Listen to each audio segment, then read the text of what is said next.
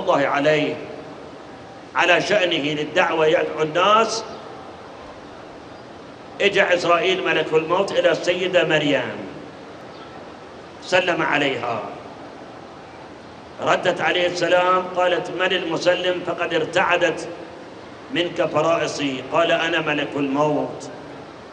عزرائيل قالت جئتني زائرا أم قابضا؟ قال بل جئتك قابضا. قالت أمهني حتى يعود إلي قرة عيني عيسى. قال ما عندي أمر معكم إذا جاء أجلهم لا يستأخرون ساعة ولا. قالت زين أعطيني مهلة أتمدد. قال ماكو مهلة فقبض روحها وهي جالسة في محراب العبادة. صار الليل اجى المسيح صلوات الله عليه وقال يا أمه شافها ما جاوبت. قال لابد بالصلاة ما تريد تجاوبني. هو هم راح يصلي. بعد ساعة اجى ناداها يا أمه ما جاوبت. أيضا راح يصلي. إلى قريب ثلث الليل اجى قال يا أمه لقد أفطر الصائمون. بعد ما حضر صايم إلى الآن. هو هم جوعان بأبي وأمي.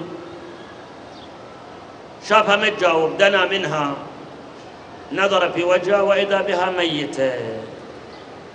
فرمى نفسه على صدرها قام يبكي. يبكي يبكي بكاء مرة بالصحراء ماكو أحد. يا أمه متى متي؟ أنا ما كنت موجود. ظل يبكي يبكي إلى أن بكى أهل السماوات الملائكة بكوا لبكائه. السيد المسيح صلوات الله وسلامه عليه. هذا المنظر يذكرنا الله أكبر. بفجائع صارت أولا في الإسلام أولا عندما رمى الحسن والحسين أنفسهما على صدر أمهما فاطمة.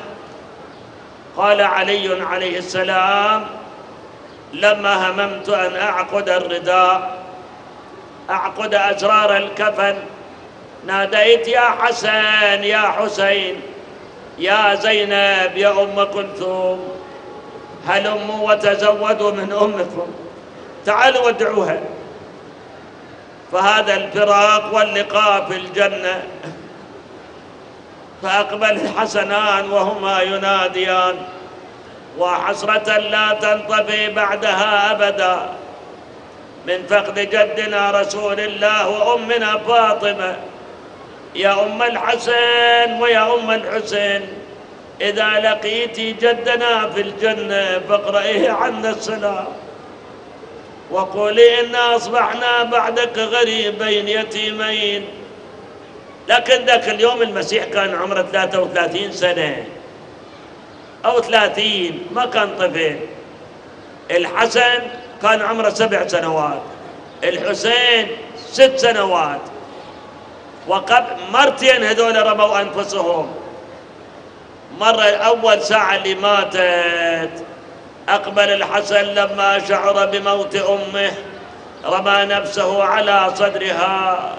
وقال يا أمة كلميني قبل أن ينصدع قلبي أو تنشق مرارتي فأموت.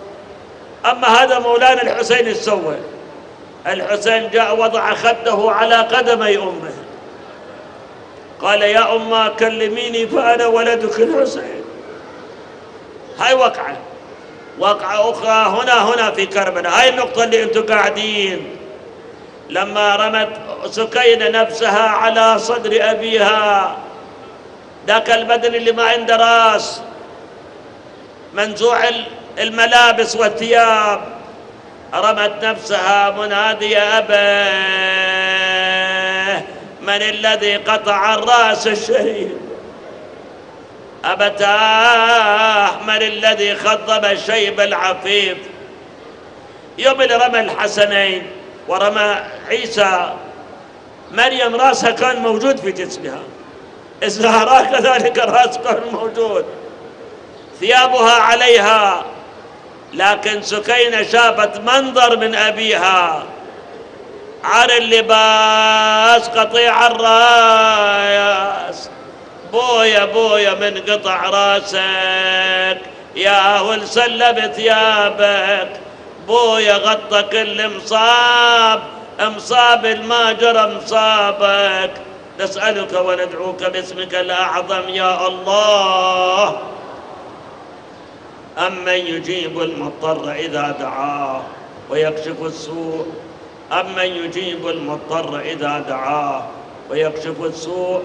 أمن يجيب المضطر إذا دعاه ويكشف السوء. يا الله يا أسمع السامعين يا أبصر الناظرين.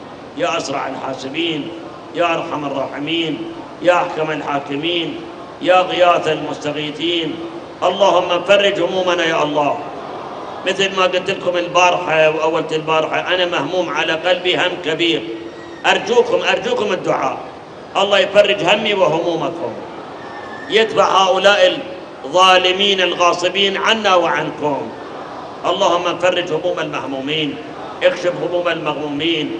اقض حاجات المحتاجين اشف مرضانا ومرضى المسلمين. اللهم من أراد بنا سوءا فأرده يا الله ومن كادنا فقده يا الله.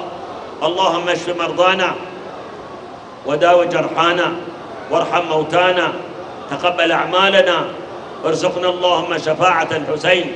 اجعلنا من زواره وأنصاره اجعل عواقبنا خيرا.